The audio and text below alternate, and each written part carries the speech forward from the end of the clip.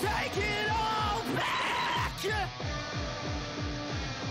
Because Doritos now seems every year to do a trend with the roulette chip. I tried the regular one, really enjoyed those.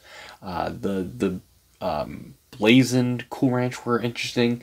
This year decided, and it really seems like we're going through all their different chip lists uh, and doing the spicy chili limon. I yeah.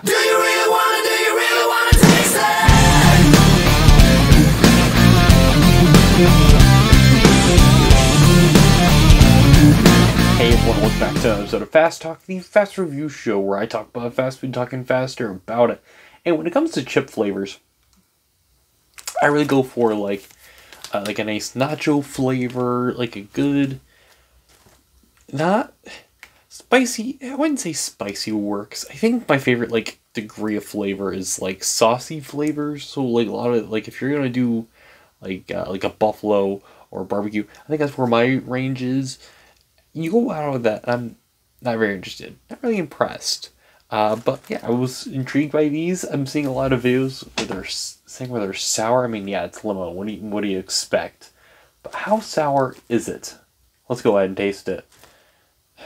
Like the bag design. This nice vibrant green there, very nice. There's no real way to do a game like this. I, I don't know. It's really it seems like this would be like a game or something. If you're with friends, you're doing like a truth or dare or something like that. I guess I don't know. I gotta drink on standby if I don't like these. I'm getting uh, flashbacks to the one chip challenge. Go watch that video. There it is, nice and red. But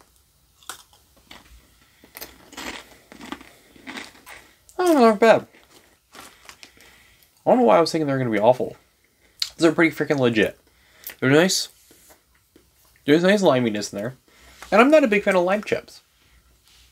There's one of the things where I was never really impressed by them.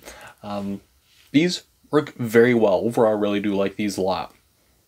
Almost got a nice heat to it. I get a regular one? That works for me. I think I found my favorite lime chip. Because I'm a big fan of lime chips. But that's good. That's got a nice, good heat to it. Like that a lot. 10 out of 10.